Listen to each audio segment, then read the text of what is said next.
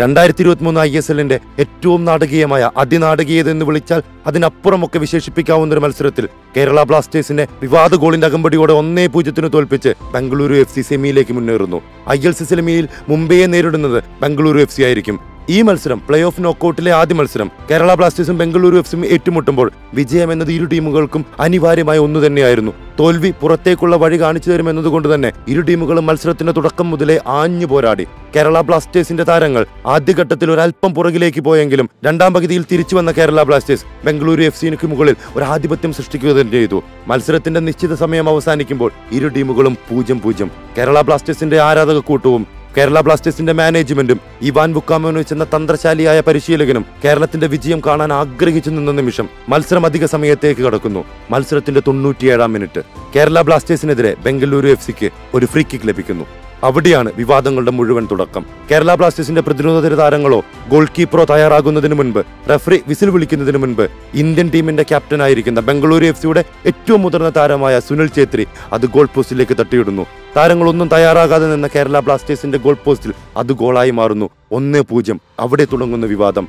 കേരള ബ്ലാസ്റ്റേഴ്സിന്റെ ആരാധക കൂട്ടം മഞ്ഞപ്പട എന്നും ഹൃദയത്തോട് ചേർത്ത് വെക്കുന്ന ഇവാൻ വുക്കോമനോച്ച് എന്ന പരിശീലകൻ. ആ പരിശീലകൻ കേരള ബ്ലാസ്റ്റേഴ്സ് താരങ്ങളെ മുഴുവൻ മത്സരത്തിനിടയിൽ തന്നെ തിരിച്ചു വിളിക്കുന്നു. ഐ എസ് എല്ലിന്റെ ഫുട്ബോൾ ചരിത്രത്തിൽ ആദ്യമായി ഒരു പരിശീലകൻ അത്തരമൊരു പ്രവൃത്തി ചെയ്യുന്നത്. ഒരുപക്ഷെ ബംഗളൂരു എഫ് സിന്റെ ആ ഗോൾ അതൊരിക്കലും അംഗീകരിക്കാനാകാത്തതാണെന്നുള്ള തിരിച്ചറിവിൽ തന്നെയാണ് അദ്ദേഹം താരങ്ങളെ മുഴുവൻ തിരിച്ചു വിളിച്ചത്. അത് വലിയ വിവാദമായി മാറുന്നു. കേരള ബ്ലാസ്റ്റേഴ്സ് ആ മത്സരത്തിൽ ഇനി കളിക്കുകയില്ല എന്നും റഫറി ഗോൾ അനുവദിക്കുന്നതിൽ നിന്നും പിന്മാറണമെന്നും ആവശ്യമുന്നയിക്കുന്നു. പക്ഷേ ഒന്നും സംഭവിക്കുന്നില്ല. വിവാദ ഗോളിന്റെ അകമ്പടിയോടെ കേരള ബ്ലാസ്റ്റേഴ്സ് ഐ എസ് എല്ലിൽ നിന്ന് പുറത്താകുന്നു. ബംഗളൂരു മുംബൈയെ നേരിടാൻ സെമിഫൈനലിൽ മുംബൈയെ നേരിടാൻ എത്തുന്നു പക്ഷേ കേരള ബ്ലാസ്റ്റേഴ്സ് ഒരിക്കലും തോറ്റു തലകുനിച്ച് പിന്മാറുന്ന ടീമല്ല. ഈ സീസണിന്റെ തുടക്കത്തിലെ തുടർ വിജയങ്ങൾക്ക് ശേഷം തുടർ തോൽവികൾ സംഭവിച്ചിട്ടും കേരള ബ്ലാസ്റ്റേഴ്സ് പ്ലേ ഓഫിൽ തന്നെ ഇടം പിടിച്ചു. പ്ലേ ഓഫിൽ ചരിത്രപരമായ മുന്നേറ്റങ്ങൾ നടത്തി ഉറപ്പായും കിരീടത്തോളം ആഗ്രഹിക്കുന്ന ഒരു നിമിഷത്തിലാണ് വിവാദ ഗോളിന്റെ അകമ്പടിയിൽ പുറത്തുപോകുന്നത്. സോഷ്യൽ മീഡിയ മുഴുവൻ ആ വിവാദ ഗോൾ അനുവദിച്ച ക്രിസ്റ്റൽ ജോൺ എന്ന റഫറിക്കെതിരെ സംസാരിച്ചുകൊണ്ടേയിരിക്കുകയാണ്.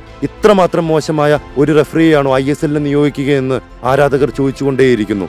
കേരള ബ്ലാസ്റ്റേഴ്സ് കേരള ബ്ലാസ്റ്റേഴ്സ് ഇനി ഈ ഐ എസ് എല്ലിൽ ഉണ്ടാകില്ല. ബാംഗ്ലൂർ എഫ് സി സെമിയിലേക്ക് കടക്കുമ്പോൾ കേരള ബ്ലാസ്റ്റേഴ്സ് കണ്ണുനീരിൽ കുതിർന്നു തന്നെയാണ് നിൽക്കുന്നത്. ഒരുപക്ഷെ അവരൊരിക്കലും ആഗ്രഹിക്കാത്ത കാര്യം അവരൊരിക്കലും ചിന്തിക്കാത്ത കാര്യം. ഈ മത്സരം തോറ്റുപോയെങ്കിൽ ഒരുപക്ഷെ കണ്ണുനീരിനപ്പുറം മറ്റൊന്നും ഉണ്ടാകില്ലായിരുന്നു. പക്ഷേ വിവാദ ഗോളിൽ വിജയിക്കാവുന്ന ഒരു മത്സരത്തിൽ തോറ്റുപോകുമ്പോൾ അടങ്ങാനാകാത്ത കണ്ണുനീരും വേദനയും പ്രതിഷേധവും തന്നെയാണ് കേരള ബ്ലാസ്റ്റേഴ്സിന്റെ ആരാധക കൂട്ടത്തിന് മുഴുവൻ പക്ഷേ തിരിച്ചുവരും കേരള ബ്ലാസ്റ്റേഴ്സ് എന്ന് ഉറച്ചു വിശ്വസിക്കുന്നു. സുനിൽ ഛേത്രി എന്ന ഇന്ത്യൻ ഫുട്ബോളിന്റെ ഏറ്റവും വലിയ മാതൃക അദ്ദേഹം ചെയ്യാത്തത് ചെയ്തത് കേരള ബ്ലാസ്റ്റേഴ്സിനെ എന്ന് മാത്രമല്ല ഈ ലോകം മുഴുവനുമുള്ള ഇന്ത്യൻ ഫുട്ബോളിനെ സ്നേഹിക്കുന്ന എല്ലാവരെയും ഒരുപോലെ ഞെട്ടിക്കുന്ന വാർത്തയാവുകയാണ്. കാത്തിരിക്കാം അടുത്ത വർഷം കേരള ബ്ലാസ്റ്റേഴ്സ് വലിയ വിജയത്തോടെ തിരിച്ചു വരുന്നത് കാണാൻ. വിവാദ ഗോൾ അത് ഞങ്ങളെ തളർത്തുന്നില്ല. കാരണം എപ്പോഴും മഞ്ഞപ്പട കേരള ബ്ലാസ്റ്റേഴ്സിനെ സ്നേഹിച്ചുകൊണ്ടേയിരിക്കും.